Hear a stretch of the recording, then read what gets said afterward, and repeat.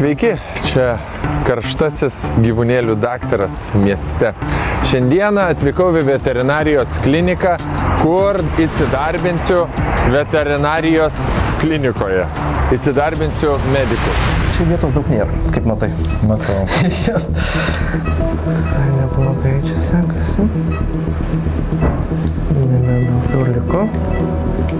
Matom, mes turime ir skubę veterinarinę pagalbą. Šiandieną iš tikrųjų dirbsiu gerą, naudingą darbą e, ne tik tai pasauliui, bet ir gyvūnėliams, kačiukams, šuniukams. Ir labai tikiuosi, kad nebus kokiu nors nedėkingų, ekstremalių labai situacijų, e, kad e, neparodyčiau savo ir netverčiau savo labai jautrios širdies. Išplėsime sąnarį. Nes galiu ir e, susigaudinti, o šito tikrai nenoriu jum parodyti, kad jūs po to neturėtumėt ginklų prieš mane. Dabar einame į vidų, manęs laukia Jovidas. Labas, labas Jovidai, labas. Tai nuo ko mes pradėsim persirinkti, mums reikės. Taip, pirmiausia persirinksim, tada aprodysiu kur kas ir tada pradėsim. Okay. Aš norėjau paklausti, jūs čia iš modelio agentūros e, at, atsirenka ve- veterinarus ar, ar kaip? Nes Taip, tokie visi išvaizdų gražuoliai. Gerai, tvarkoj, tada man tai keliaujam. Gerai. nu va. Gerai, man tai, tai pasiruošęs, tai va, tai pradėsim nuo to, tai čia yra registratūra, čia prasideda darbas, jis vyksta nuolatos, čia yra apžiūros kabinetas, nuo čia viskas ir prasideda, Okay. tai, a, paima gyvūnų operacijom, procedūrom ir taip toliau. Čia mūsų laboratorija, tai reiškia Taip, kraujo sveiki. tyrimo aparatai, Matau spalvas, spėju, kad tai yra kažkoks spektras ar ne, pagal kurį atskiriat, atskiriat gerasis, blogasis bakterijas. Taip, panašiai. E, Čia vyksta rengen, rengenologinis tyrimas, čia žiūrim e, nuotraukas, tai, va, tai čia jisai yra atliekamas prieš, prieš operaciją, prieš procedūrą ir kai kada profilaktiškai. Tai galime keliauti, tai iš tolo pažiūrėsim. Šiuo metu yra atliekama procedūra, tai reiškia atliekama operacija. Būna, sakote, nuolpsta kas nors atėjęs į kliniką. Taip, tai e, būna. Šeimininkų neįleidžiat jau į operaciją. Ne, niekaip, tai reiškia, būna kai kada žmonės, kai kurie bijo kraujo, bet e, ne visą laiką pasako, kad jie bijo, tai, tai kartais e, ten prireikia mum ir medikų pagalbos, siekiant, tai norėjo būti visą laiką kartu su, e, su savo gyvūnu, palaikyti jį, bet e, šiek tiek e, neįvertinus galimybių e, buvo, kad e, nuėjus į tualetą šeimininkas nualpo, tai teko į medikų pagalbą kviesti ir atrakinti, atrakinti tualetą per prievartą. Tai ir tu man, tai jeigu kažkokia tai turės kažkokią baimę, sakyk, bijau, nenoriu. Na jau būk tu ramus, aš tai tikrai pasisakysiu. Aš dar norėjau paklausti, a, kiek metų mokotės e, savo profesijos? Pradžia šeši Šeši metai, ar ne? ir visą gyvenimą. Ir visą gyvenimą, taip, taip, taip. Mes e, realiai e, dirbame pakankamai daug, pakankamai nemažai.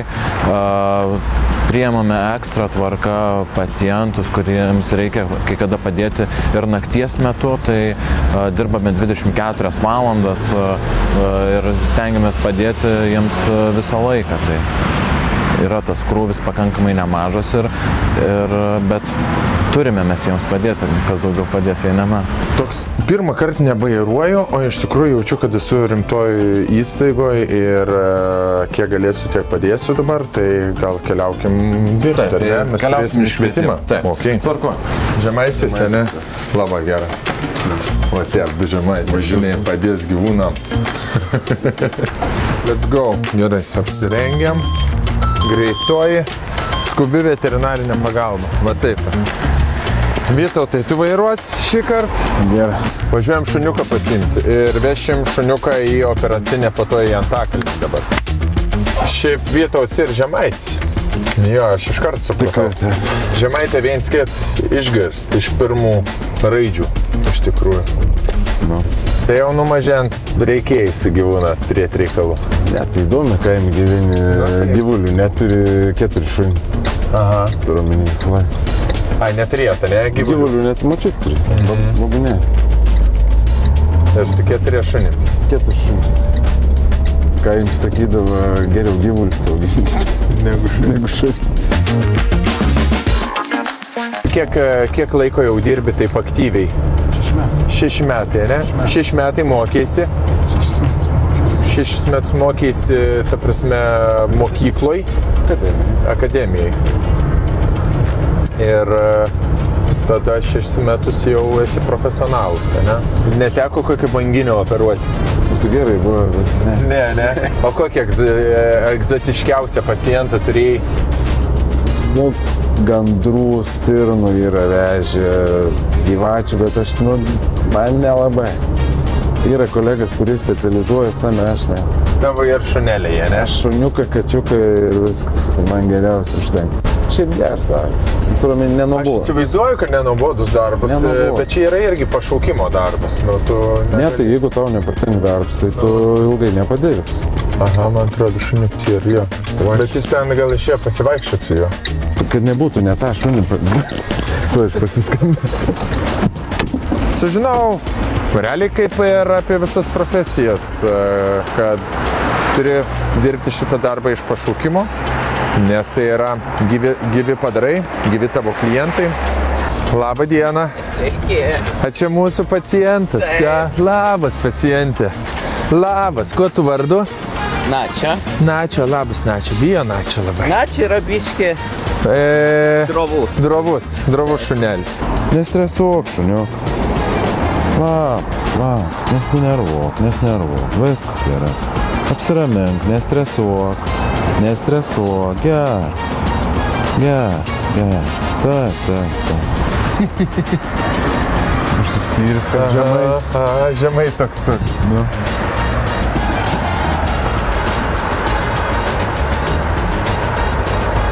Jisai prie šeimininkų yra vienoks, prie Pradeda pyktą, ne? visko būna. O ką tada darot? Šnekat? Gali šnekėti, kartais nieko nebūna. Tiesiog yra ant snukis uždedams, tada gali dirbti. Nes nu, mes negalim rizikuoti savo, Nu, savo sa- sveikatą. savo sveikatą.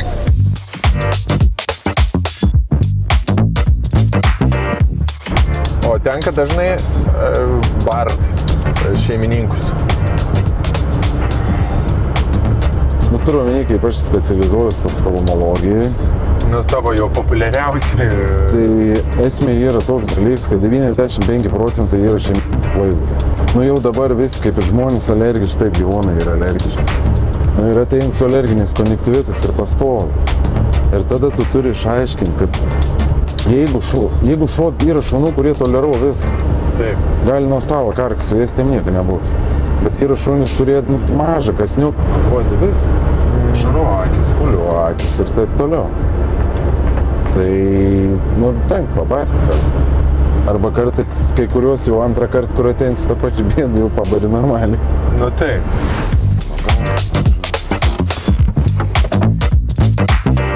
Nu labas, načio, liežuviški, šešėlė. Eisim?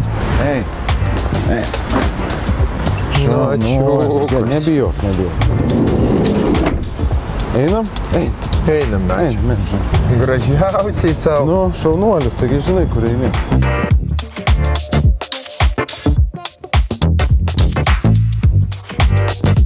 Pats sunkiausias dalykas yra ta nuotaikos kaita, kai reiškia vieną, dien, e, vieną sekundę mes galim džiaugtis, kitą liūdėti. Tai tas e, pats sunkiausias dalykas prisitaikyti ir tą nuotaiką suvaldyti turbūt ir e, kas dažnai įtakoja ir ne kiek pacientas, o kiek klientas. Tai tas emocinis darbas galbūt yra sunkiausias, ne kiek praktinis.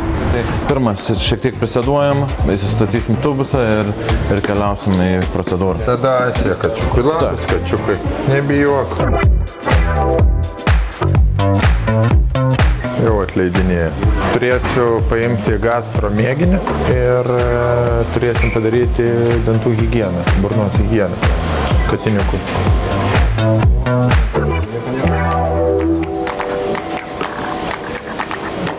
Rimti reikalai.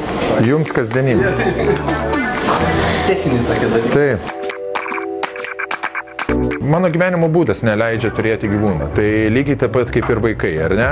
E, pasidaryti jų labai lengva, e, nusipirkti gyvūniuką labai lengva, užauginti jį, globoti jį ir jį saugoti ir auklėti, tai jau yra kitas dalykas. Tai yra didelė atsakomybė, o aš turiu atsakomybių ir tai pakankamai ir e, nenorėčiau kažkam sugadinti jo gražaus gyvenimo, aš kalbu apie gyvūną. Ar yra buvęs e, gyvūnas, kad atsibunda vidury operacijos? Įsimintiniausi jaučiu būna ne patys gyvūnėliai, o gyvūnų šeimininkai, ar ne? Įsimintiniausi būna. Čia tikriausiai būna taip.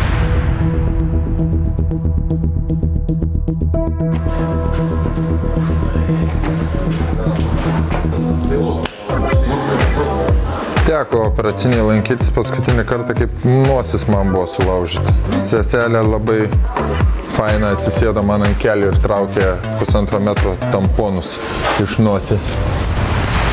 Gyvūniukų pulsas, ne toks yra, 101.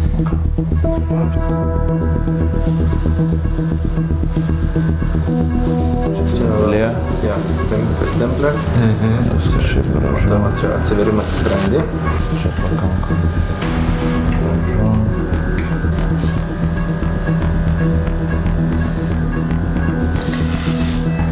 Pro tą skilutę tau reikės, kaip ir šnekėjom, pro kurią? Pro šičia. Okay. Ir važiuojam drąsiai. Galo ir. Va. O, pasirodė. Aha. Gerai, kaip ir prieš tai minėjau, dabar pabandyk atsidaryk. O, matai? Tai dabar atsiremsi. Atsiremsi mes, tada prikabinsi. Ta prasme, susičiaupsi. Atsirėmiau. Jo, prikabink, susičiauk. Ir stipriai trauk dabar. Op, Maladės ir į viršų. Jo, dabar paimsim čia mėginį ir pasakysiu, kada atidaryti. O, turim. Turim? Turim mėginuką. Nėra momentų, kada galvot, kada prisėst, kada neprisėst, tai tu esi dalyvauji procedūrai, tau liepia suprantinti žmogus atlikti užduotį, tu ją atlieki. Tiesiog emocijos yra, katiniukui iš skrandžio mėginį ėmė nuo senelės. Tai yra ir mechaninis tas toks pojūtis, kad tu esi gyvūno viduje ir šiaip su, supratimas yra, kad e, dirbi gerą darbą.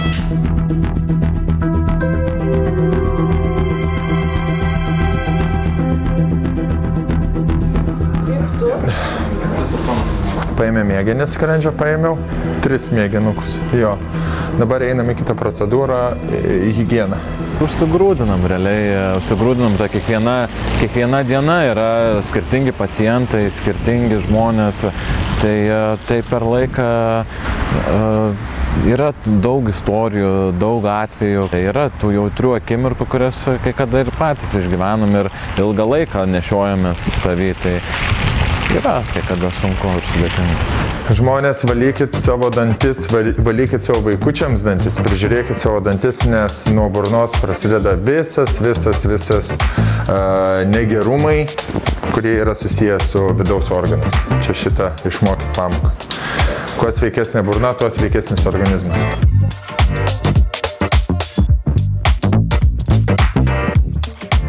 Labai daug ir labai platus tas procedūrų spektras yra atliekamas nuo dantų, ką jūs šiandien pastebėjote, hygienos, iki kaulinių operacinių, traumatologinių operacijų, vidaus lygų pacientų priežiūros, endoskopinių procedūrų, endoskopinių operacijų. Labai platus spektras ir realiai atliekame labai daug procedūrų. Magnetinis rezonansas bus palengvinantis mūsų kasdienybę, neurologinius pacientus, greičiau galėsime išsiaiškinti tikslę diagnozę ir tikslingesnį gydimą skirti kiekvienam iš mūsų pacientų. Tai čia mums labai stiprus pagalbininkas, kuris galės kasdienybėje mums padėti.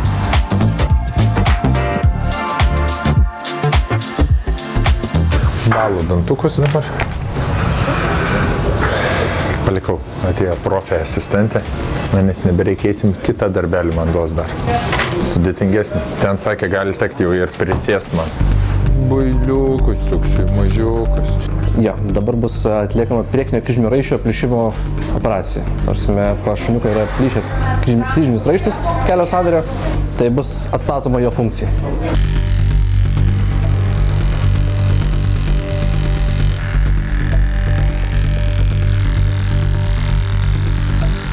Puikiai. O, Puiku. Savo namų darbus aš jau atlikau. Išsimatau visus kampus renginį. Ir dabar jau eisim tada pradėti. Ko tikitės iš asistento? Asistentų pagalbos. Aš žinau, kaip iš to asistentų pagalbos. Kad teisingai e, pal- palaikytų koją, paduotų įrankius. tarsi, jo, Pagalbos. Bus biški kraujo. Bet nedaug. Ah. Nes asistentas realiai yra 50 procentų sėkmės. Atsakomybė? Jo, taip. Na ką, pradėsim tada. užtrunka pirštinės išsidėti. Jo, jo, užtenka, užtenka labai. Viena iš svarbiausių funkcijų bus to man tai koją man palaikyti. Nebaisu, gerai man tai? Nu, taip. Taip, nu. Na va, tavo fu- funkcija buvo. Pavalyti mums išgelį. Dar gali pavalyti. O, Super, labai gerai, nu super. Gera pradžia pasidarė. Tada tai pati pradžia, tai mes liksime sąnario atvėrimo ar patomiją. Įsitikinsime, nėra plyšeltas į meniskas. Tikriausiai turėtų būti, ne? Su, su, su šituo, su halatu, su viskuo. Ne? karšta ne dėl halato dabar.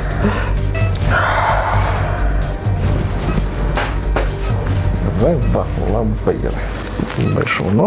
Čia? Jep, teisingai. Labai teisingas įvardymas. Taip, čia yra plėtiklis. Ir yra va čia va sanarys, ir va čia tokia va kremzlė surėjus, čia yra jau artrozė. Suformavusi. Taip. Dabar čia yra sanario plėtiklis. Išplėsime sanarį.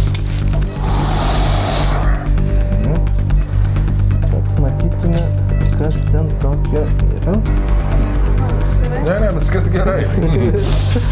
Kai buvo pirmos operacijos, prasme, tai būdavo, vieniem tikrai būdavo sunku, man kažkaip ne, ne, nebuvo sunku, bet aš turiu kitokį tokį dalyką, aš, pavyzdžiui, savo kraujo bijau. Savo. Jo, tarsi aš kažką talpstu, griūnu, viskas. Tarsi. Aš galiu įsipjauti minimaliai į pirštą, realiai jau, jau žmona jau vienas, vienas, du renkami reikia. Žinai, kad gerą darbą darai. Taip, Žinai, kad gerą darbą darai. Ne, ne, ne vištieną uh, išdarinėjai, o kažkieno mylimą šeimos narį. Kažką padedi. Taip, šiaip va, labai gerai, dabar taip, šitą man plė, plėtiklį palaikysi, gerai, aš dabar koją perimsiu. Gerai, viskas gerai, bet taip, aš to pasakysiu, kaip gerai, gali paleisti. Super, idealu. Nieko būna, viskas gerai, žinau. Nieko tokio. Čia yra vienas svarbiausių momentų, iš tikrųjų, šios operacijos.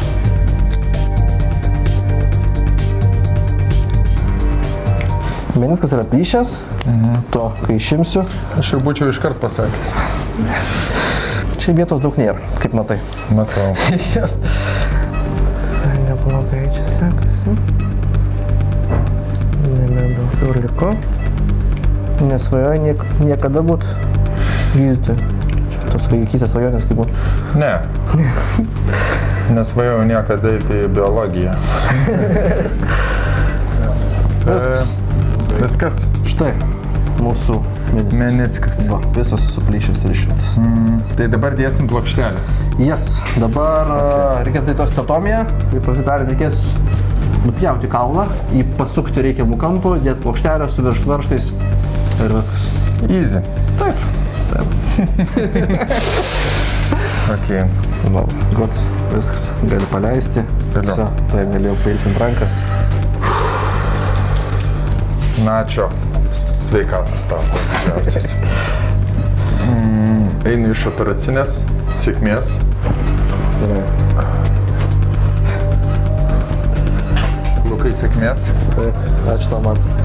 Tai man kaip aktoriui iš vis tokios patirtis yra neįkainojamos, tai vadinamasis method acting vyksta, galėsiu labai puikiai įsikūnyti savo ateities vaidmenyse, jeigu tokių bus medika, veterinarą ir, e, ir panašiai. Tikrai pamačiau tą gyvą gyvenimą iš labai arti ir išsivežu daug įspūdžių ne tik tai šiai dienai, savaitėjai, metams, bet ir e, visam gyvenimui. Turėsiu ką papasakoti savo e, vaikams, turėsiu ką papasakoti savo anūkams, taip kaip reikia globoti, mylėti savo augintinius ir saugoti.